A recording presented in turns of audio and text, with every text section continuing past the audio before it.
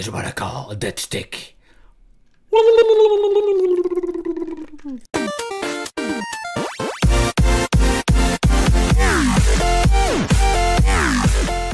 Welcome to the Wicked Gamer and Collector YouTube channel. And today we're gonna talk about this yeah major problem. It's the wiggly stick of the Nintendo 64. They're all most of the time broken because of uh, hmm, Mario Party. That's the stick killer. So I uh, perioded an, uh, an imitation, a uh, fake version on our friends from China. And uh, I want to do a little compare. Does it fit? And uh, what can we do with this? But before we do the compare, we need to open the joystick itself, of course. And yeah, you just need to uh, unscrew it with a Phillips screwdriver. And that's it. And yeah, I'm going to skip this part because this is going to take forever.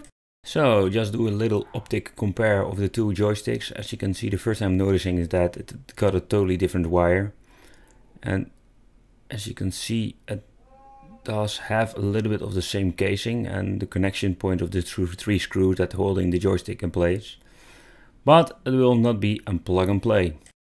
Then the main question, can we replace parts? Can we replace parts with the China clone version with the original one? So we can make maybe one good stick, but no we cannot.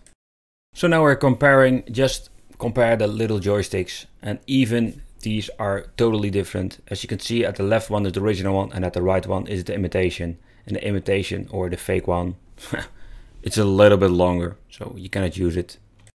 So I was thinking maybe you can swap out some parts and repair the original stick with parts of yeah the imitation or the fake version. But no, it is a totally different way of connection and how the signal is going out and the Nintendo version either has an original little PCB board inside. So nope, you cannot do anything with it. So yeah, that concludes a little review and a heads up for you guys that the cheap ass version stick is not compatible with every control. I've read somewhere on the internet of a forum that there are even joysticks from Nintendo that can use this one, but I don't believe it.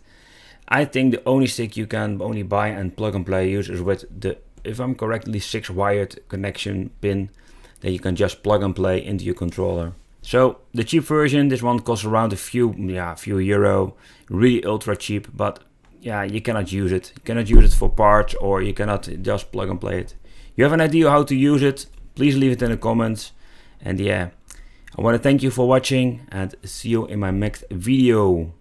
Thank you for watching. Don't forget to like and subscribe. Follow me on Facebook, Twitter, and Instagram. Oh yeah, baby. Yeah.